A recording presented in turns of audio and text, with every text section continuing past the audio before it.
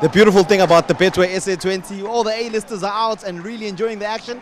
And of course, it's good to see dads and lads out enjoying the cricket. Siya Kolisi, World Cup winning captain alongside me. Siya, uh, you with your son Nick here, are you guys enjoying the, the, the, the festivities here? Yeah, we are. Uh, it's pretty hot today, but we're having so much fun.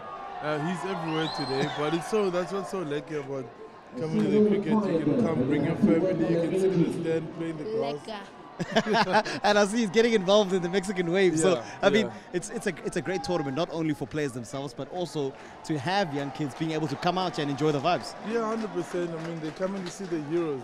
My son doesn't know what sport he wants to play. Oh, big Yeah, six, big six. Did you enjoy that, Nick? That's not good. 'cause That's, that's Lungi.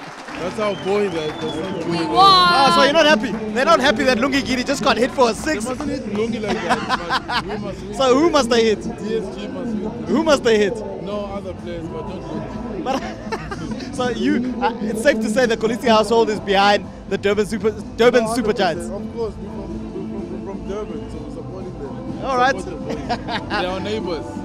I tell you, it's going to be fascinating to see how this tournament progresses. But good to see the likes of Siya Kolisi out here.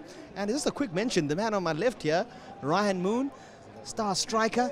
Yeah, right. enjoying the the, the crickets. It's, it's it's a bit a bit different from football. Yeah, no, loving it. Listen, uh, Liverpool's in a bad place, so I just thought let me come and support DSG rather try and catch the ball. Oh, it's all happening Yeah, Loving the vibe. Yeah, enjoying it. Whew.